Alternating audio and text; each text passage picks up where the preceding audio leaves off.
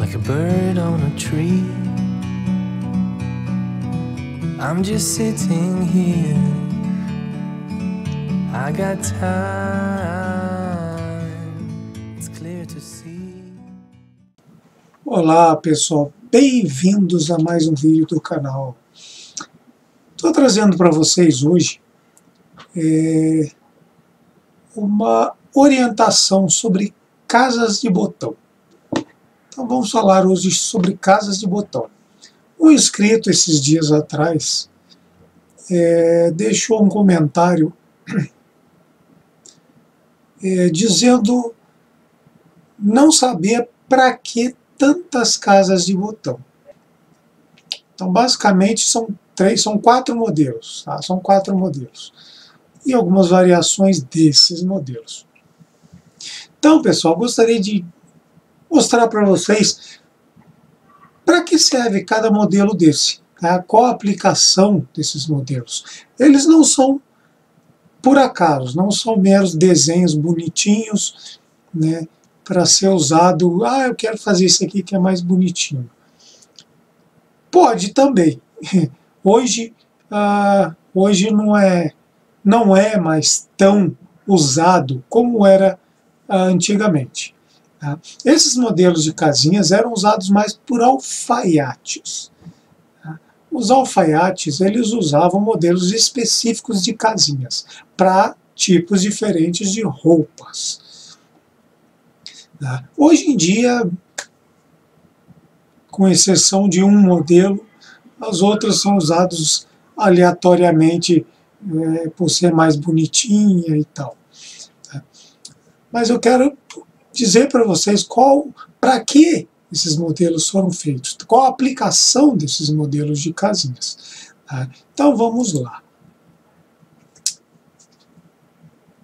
Aqui nós temos cinco casinhas, mas na verdade quatro modelos diferentes. Tá?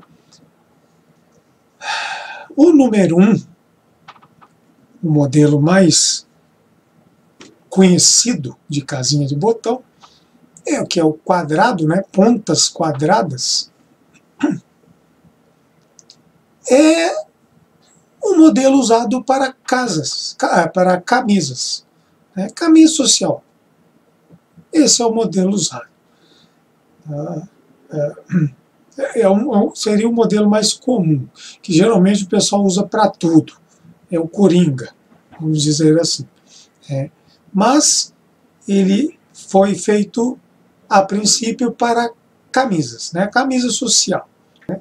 Aí nas máquinas vem dois uh, tipos. Tá? Vem ele mais fechadinho, né? os lados mais juntinhos, e ele mais aberto, mais espaçado.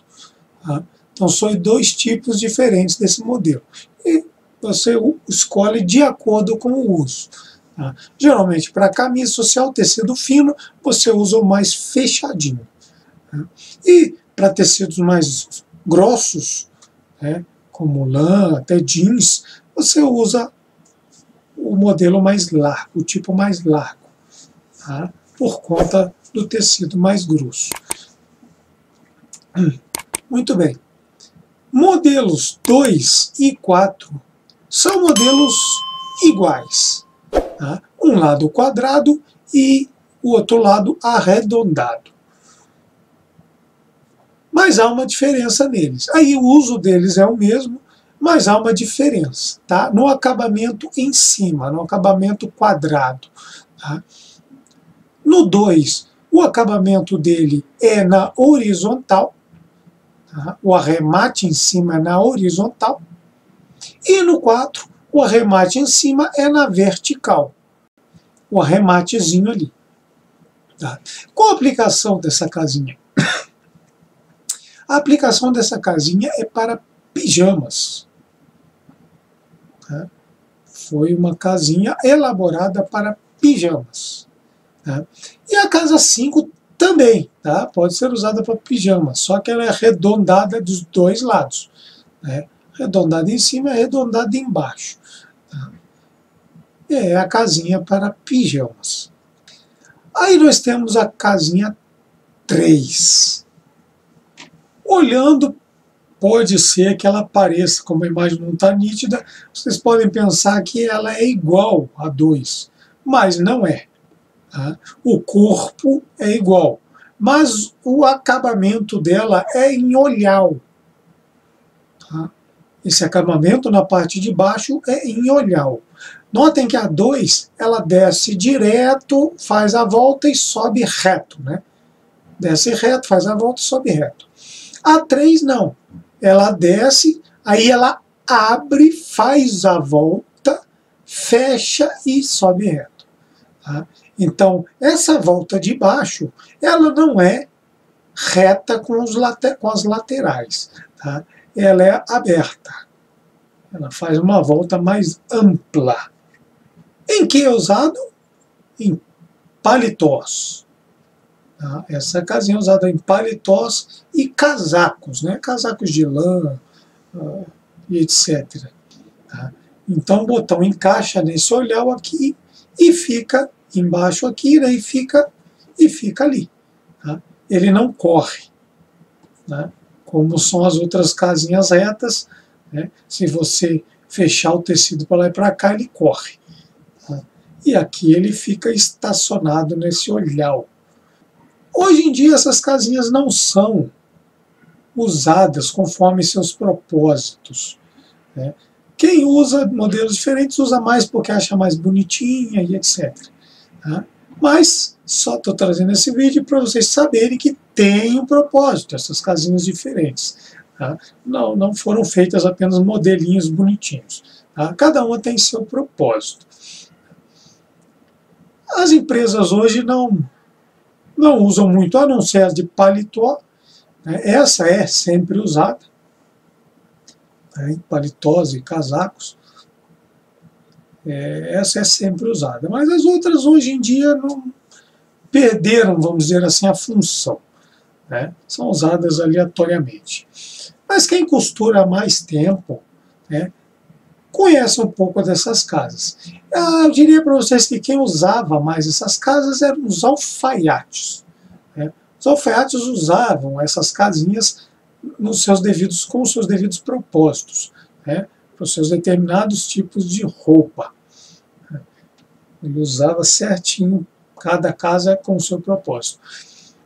Hoje, infelizmente, os alfaiates estão acabando. Né? Não, não não, não estão sendo substituídos, né? porque a, a função alfaiate teria que ser transmitida de um, de um para outro, já que não temos um curso né, de alfaiate. E a maioria já está idosa, como eles não, não transmitem seus conhecimentos para frente, vai morrer com eles. Tá? Vai chegar uma hora que a profissão de alfaiate será extinta ficaremos aí com costureiros, costureiros e estilistas, né, que vão uh, tomar, já estão tomando o lugar dos alfaiates. Então é isso que eu queria trazer para vocês, pessoal. As casinhas de botão, tipo de casinhas e suas funcionalidades.